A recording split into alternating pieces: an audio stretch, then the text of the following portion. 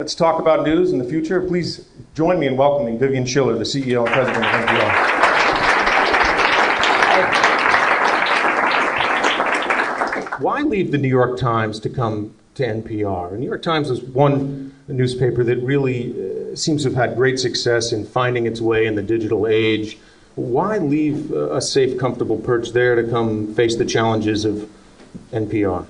Well, um, I left just by way of background for those of you in the room. I, I, I was with the New York Times. I was the uh, general man, senior vice president and general manager of NYTimes.com, the website, um, until January of 2009, so about a year and a half ago, when I um, joined NPR as president and CEO. And um, it was one of those classic situations where I absolutely did not want to leave. I had no intention of leave. I, uh, leaving. I, I, imagined and could picture myself, you know, retiring as at, at the New York Times, which is an institution that I love.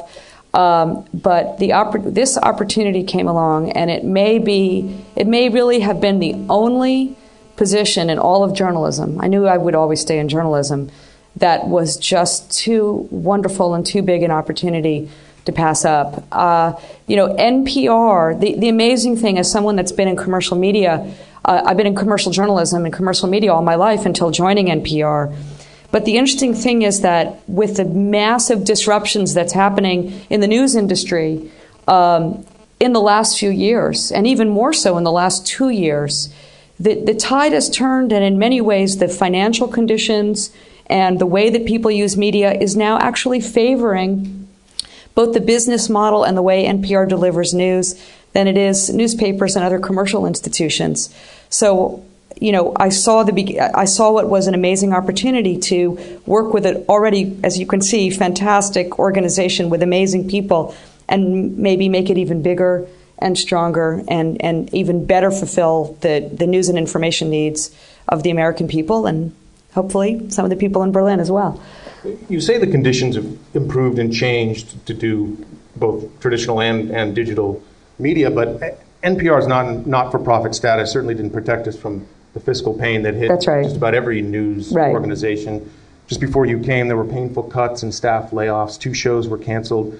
Uh, then after you came, you instituted uh, some more painful That's right. cuts that were yeah. needed. I guess uh, just briefly, are we out of the woods right. financially, or is there still a lot of uh, yeah, it wasn't wasn't the world's greatest time to begin a new job, but right after there was a lot of layoffs and came in and go, "Hi, everybody! Guess what? We have to do more." Um, that was that was not very pleasant for obviously for me, let alone um, the people in the organization and the people, unfortunately, who who a handful of people who did lose their jobs and others that had to make sacrifices.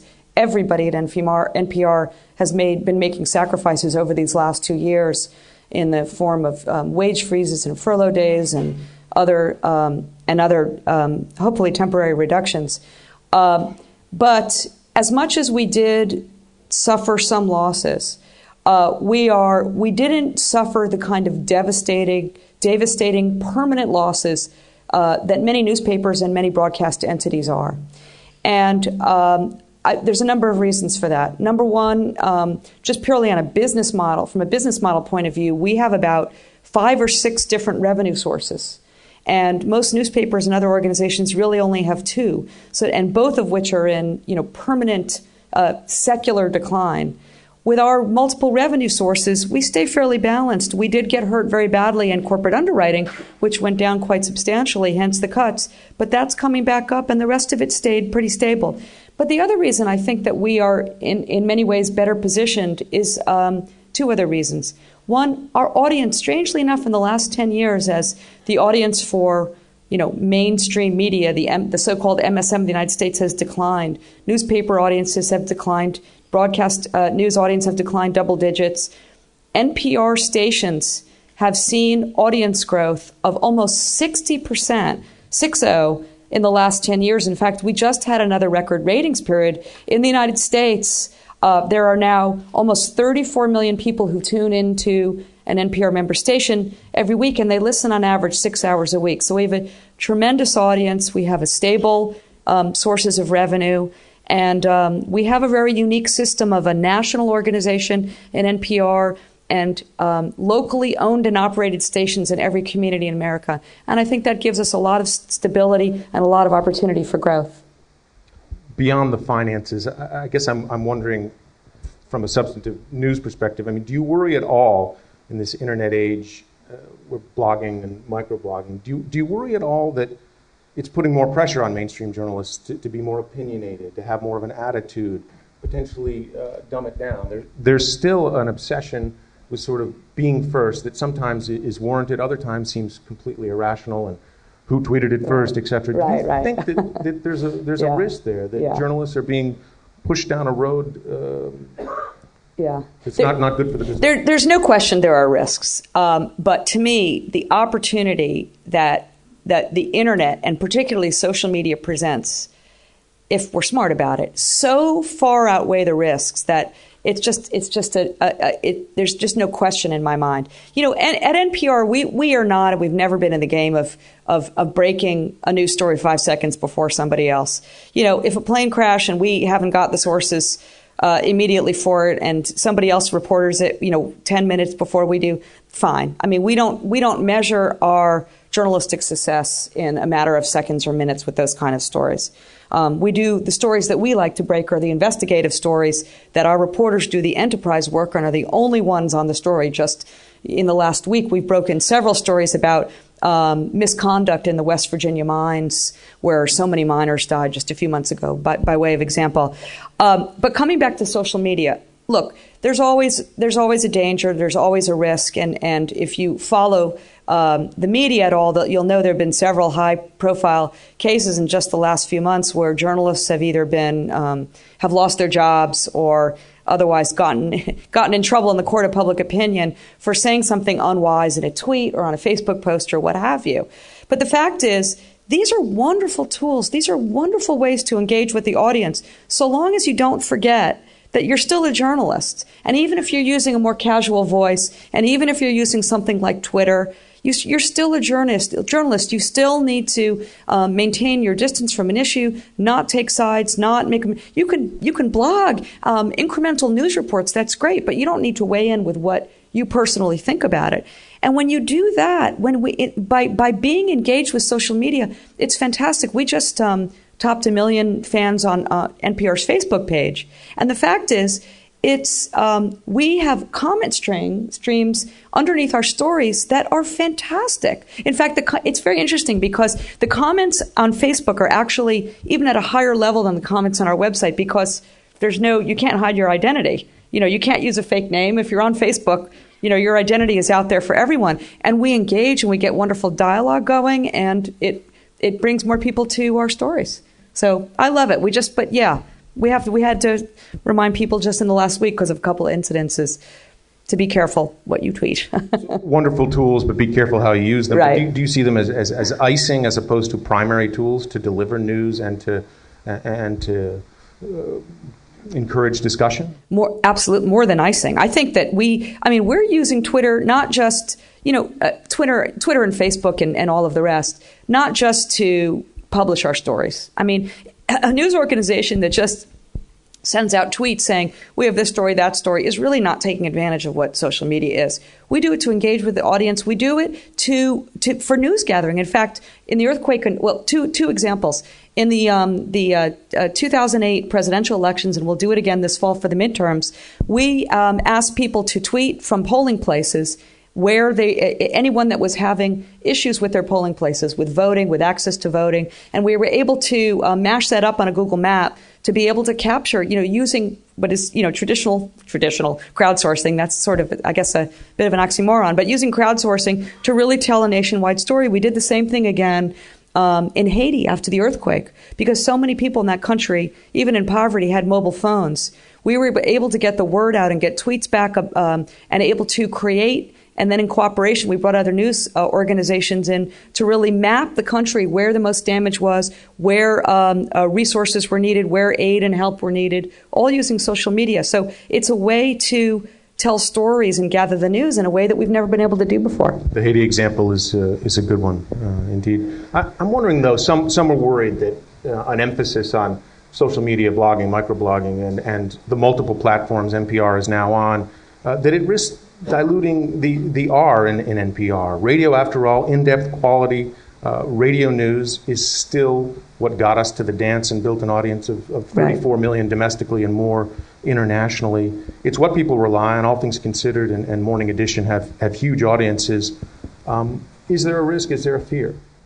Uh, well, there, there's a risk if we don't if if we don't play our cards right. But look, radio is absolutely at the heart of what we do.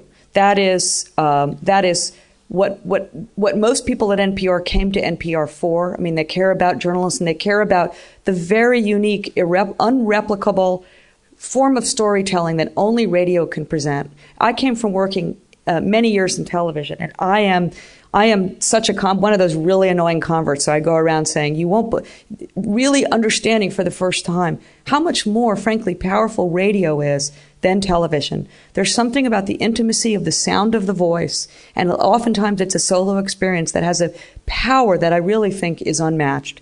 And it is where our audience is. It is um, where our financial support is. It is where the bulk of everything that we do is. Um, but we would be unwise to not. Let me back up and say, let me put it this way. At the end of the day, I feel like NPR's mission is to is to provide for an informed American citizenry, and to give people the information they need to be to be to participate in the democratic process and to be informed about issues and make form their own opinions. The primary vehicle we use to do that is radio. But if we really hold that as our mission, we should not limit ourselves to radio. We should be wherever our audience is. And to the extent that younger generations are using other forms of media, other forms of audio media, podcasting, 15 million downloads a month, or, or listening to um, radio on the internet, which you will soon be able to do. Um, uh, by the way, NPR Berlin. Uh, on nprberlin.de, you will soon, by the end of the month, right, be able to have, yes, right, okay. August 2nd, you'll be able to stream um, the signal for those of you that are having a little trouble um, getting the radio signal, which I've heard a lot about uh, since I've been here. Um, of course, you can also listen to any station um, in the United States um, uh, streamed as well. But we also want to be, um, you know, powerful photographs, texts, blogs, interactive graphics. All of these are really powerful journalistic tools, and we want to make sure that we are reaching our audience in any way that they want to consume us does NPR have a responsibility um, to encourage greater dialogue on its on its sites and its related blogging and, and comment sections? Because all too often, sometimes, especially on hot button topics, uh, it's not really dialogue. It, it, degenerates pretty quickly into name calling, spitball kind of stuff that has absolutely nothing to do with the story. I know when I covered the Arab-Israeli conflict it was shocking and absurd to me to read some of the comments that would have absolutely nothing yeah. to do with the four minute story I just did from Gaza. It would just be, you know, debating some arcane point of, of history and, and calling each other names. I'm just wondering uh, what, if anything, NPR can do to, to help encourage yeah. greater dialogue. Well, this is a, this is a you know a subject of great debate within all uh, journalistic circles, which is how do we keep that you know a civil discourse, not just a civil discourse, but an interesting dialogue going on in the comment section, you know, how do you keep let let those people in, but keep out people that just want to cause trouble? And you know, there's there's no perfect solution. At the New York Times, we had screeners that somebody read every post before it uh, went live. Although we didn't take out, you know, we, we just you know checked for obscenities and something that was completely off subject. Uh, you know, uh, uh at, NPR right now, we have a, you know, a, uh, uh you can click if, if, if you feel like a message needs to be flagged for removal. We haven't found a perfect solution to it, but I I am still, I'm an optimist by nature, and um, I'm very bullish about the possibilities and the opportunity with comments if we can get this filtering right. Part of it is to force, encourage, encourage, and then or force people to use their real names where they can't hide behind anonymity. But I, will just give you one example of where. Um, of that just gives you an inkling of what the promise of a comment section is, what the promise of engaging with the audience is. So if you um, I don't know if what a big story, if it was a very big story here in, Ber- in Berlin, but about six, eight months ago, there was a story about this boy that was allegedly carried in a hot air balloon. Oh, God, you're not going to Balloon Boy, are you? I'm going to Balloon Boy. So, does everybody know about the Balloon Boy story? I don't know if that was okay. So, the Balloon Boy story was a, a story that everyone was obsessed with in the United States for a period of six mm-hmm. hours. Unfortunately, I mean, cable news, you know, never mind what else was going on in the world. All there was was Balloon Boy. People were glued to their television sets. It's really not an NPR story. However, we have a blog on our website called The Two Way. And midday, when a lot of people tune in, we thought, well, we need to tell people this thing is going on. So our blogger posted, look, balloon boy, the boy's in the balloon. We don't know the boy in the balloon. This is happening in Fort Hood, Colorado. You know, everybody's watching it on the television. Boom. Comment section. You're right. Most comment sections degenerate very quickly into all kinds of blather and people calling each other names. Um, in this case, the, the comment stream started from the first one and kept going, a dialogue between several people, calculating the possibility of whether that boy was in the balloon. The first blogger comes in with some kind of um, calculus uh, equation I don't even begin to understand. That was like the weight of the balloon, the thickness of the, bi- the mylar, you know, the altitude at Fort Hood, you know, how big the boy is, the time of day, the lift, the Gulf Stream. The other one comes in and says, no, I think this one. They start arguing with each other. One of them says to the other one, show me your math. It was like, you know, this was the, but, but the, but the amazing, only NPR listener. But by the end of this, these, in this comment stream, they figured out that the boy could not have been in the balloon before the balloon even landed. So, okay, silly story, but you know what? You think, wow, how do we capture that? Because we have so many smart people in the audience. So that's why I'm hopeful. I didn't know something good came out of Balloon Boy. That's oh, no, yeah, yeah. small silver lining. Turning to foreign news a little bit, NPR has 18 bureaus around the world including in some very difficult places Kabul, Afghanistan, uh, Baghdad, uh, Gaza, Pakistan, uh, and other places. This is expensive, it's difficult. There's hope in the near future to expand it as well. But our 18 bureaus, you know, it's, it's nothing in some ways to gloat about because it also, the wider industry is facing a, a kind of crisis in foreign news. Um, many organizations have cut back on the number of bureaus, the number of people actually on the ground reporting the news. I guess first uh, question, I'm wondering if you think this crisis uh, has an endpoint in terms of, of where do we turn around, where do, where do you pull out of it, and then we can talk a little bit about foreign coverage. The crisis in journalism. Yeah, and, well, and people not. Uh, yeah, uh, you know, th- this is you know we could spend the rest of the evening talking about sort of the changes that are happening in journalism and why. You know, here's the thing about foreign coverage. Foreign coverage has never been profitable in newspapers, coming from newspapers, coming from television, no advertiser says, put me in the foreign section. Because all that war stuff, that's where I want my products to be seen. It doesn't happen. It doesn't happen in television. It doesn't happen in radio. But newspapers were able to protect their coverage of the stuff that advertisers weren't interested in, like foreign coverage, like investigative coverage for so long, because the product was bundled. And so when you have a bundled product like a, like a newspaper, you know, the advertising that the advertisers that might come in for the business section or the travel section are subsidizing your Baghdad bureau. With the unbundling of news, which is what's happening with the internet, all of the parts and pieces are being unbundled. All of a sudden, the, the, the, the parts of the news business that really don't have advertiser appeal are sort of, you know, have a bright light shining on them as, you know, you know, for, for cuts. And that's what's happened. And as a result, you know, here we are with NPR. Yeah, we have 18 bureaus, you know, which is great, not nearly enough, but, you know, we have more foreign bureaus than ABC News, NBC News, CBS News, Fox News. I mean, think about that. I mean, the great CBS, you know, Tiffany Network in news, NPR has more bureaus. I mean, I'm glad for us, but it's really sort of a sorry state of affairs. Um, I don't see commercial media really reinvesting more in foreign news. Certainly, you know, the AP is still there, Reuters is still there, but British. But um, I think I think public media is has the model that will allow us to expand, and so that's why we feel a great responsibility. You know, to you know, that's why we're trying to figure out our business models to raise more money so we can um, have more foreign bureaus, more foreign reporting, more of the stuff that other news organizations are abandoning. I know when I lived in, in the Middle East, um, it was pretty much a, a, monthly thing where I'd have to say goodbye to a, a, friend or colleague who whose bureau was closing down and he wasn't being replaced. I mean, he's literally shut the door, turn in the lease, turn in the key, go home. And these were major newspapers and, and still are that, that walked away from foreign coverage, at least directly with their own bureaus. We're talking the Philadelphia Inquirer, the Baltimore Sun, uh, the Boston Globe. Good friends of mine you know, I joked with them, are, are you going to change the name to the Boston Local now that you don't have uh, foreign bureaus?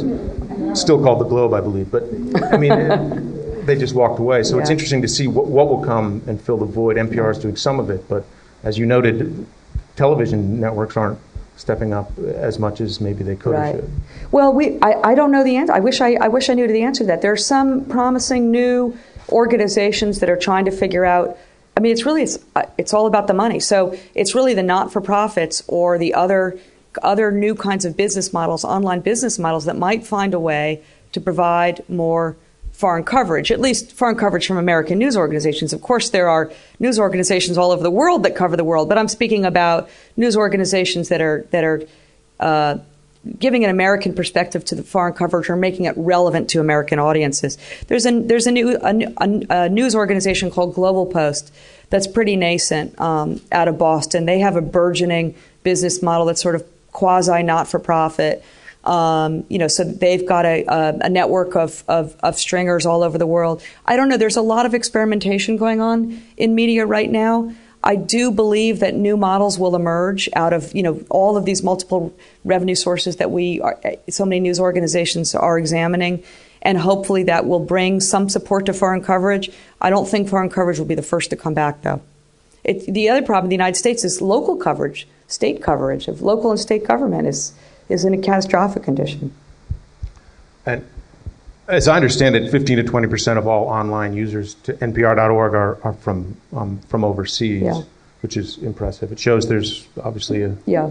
an audience out out there. I, I'm wondering in the foreign, you say the model has, has yet to emerge really of, of how to all do this, but with the new investigative unit, NPR has done some collaborations with other organizations. Yes. Do you see that expanding, whether it's the Yes. investigative unit, whether it's foreign coverage? Uh, in this age of austerity, are we going to be forced to or want to both uh, do more collaboration? Absolutely, we have to. You know, news organizations traditionally have are ter- have been terrible partners to each other. you know, there's a you know, if you've ever worked in a newsroom, there's a certain you know arrogance, pride of arrogance about you know. Uh, among um, the, the best journalists, of course, not you, Eric. Of course, you're not the least bit arrogant in any way. um, but uh, that makes it sometimes difficult for news organizations or newsrooms to collaborate. But this is changing. I mean, that's been true. When I even when I got to NPR a year and a half ago, I was told with with a little tinge of pride, well, we don't partner very well. Well, we need to start partnering very well, and and we have been partnering very well. And our investigative unit is a very good example, working with news organizations in the United States, other not-for-profits like uh, ProPublica and uh, Center for Public Integrity, Center for Investigative Reporting. We have not been doing too much. Uh, we do some partnership with the BBC. We have not been partnering very much with news organizations outside the United States, but I can certainly see that changing, and it's something that we need to look at. In fact, our strategy our, our, our strategy outside the United States has been largely focused on covering the world for American listeners. But with, you know, in the last few years, especially now with our, you know, uh, this presence in Berlin that we're so incredibly proud of and so thrilled about, I cannot tell you. That's why I'm here. I've been waiting since I joined NPR to get over the financial crisis or set things a little bit on track so I could come to Berlin and, and experience what NPR Berlin is about and experience Berlin. But we're you know beginning to see what are the opportunities to bring NPR to more places in the world. And I know Kingsley, will, my colleague, will talk about a little bit about more of that in a few minutes. I think it's a good time to bring up Okay. uh, Kingsley Smith. He's the director of NPR Worldwide and NPR Berlin, and you can talk a little bit about NPR Berlin, and then uh, we can can take uh, your questions as well. Kingsley Smith. Thank you. Thank you so much, Eric. Uh, anything in particular you'd like me to cover, or just uh, review some of the latest developments? Well, as we know, some people have had problems getting 104.1 in Berlin, depending on where you live. I live in Mitte, and it can be, well, depends on what room I'm in. So I'm wondering, uh, Kingsley, how are you going to solve my problem? I'm glad you asked that question, Eric, because one of the ways we're going to solve the problem is by offering online streaming through nprberlin.de. The issue with FM frequencies uh, and frequencies that are weak, it's not unique to NPR Berlin. It's a universal problem because of the way the frequencies are assigned. We happen to have been assigned a frequency that is not allowed to increase the power output substantially. We've investigated with our engineering firm how we could go about either moving the antenna higher, increasing the power, or doing um, other things, even moving the tower. But because of the cost involved and the lack of available frequencies that would allow us to broadcast at a higher power, we're not really able to do that right now. So I think by offering online streaming uh, at nprberlin.de, it'll give folks who are not able to get the signal very strongly uh, an opportunity to get it nice and clear. I actually was listening to it today. Um, it won't be available to you until August 2nd, but obviously we've had to have a testing phase, we've had testers uh, in Taiwan and other places that uh, have been able to verify for us that it works. And it works quite well, and I think you'll be very pleased with it. What, what, are some of the pressing issues for NPR right at this moment? Well, uh, let's see, uh, several, several fold. You know, one, the, the main thing is that um, in the United States right now, there is uh, the, the, news industry is in, in tremendous disruption. Mm-hmm. And there are many, many journalist jobs being lost at newspapers and broadcast operations.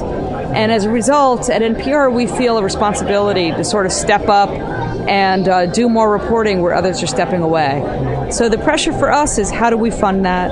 How do we deliver it? Um, who do we partner with?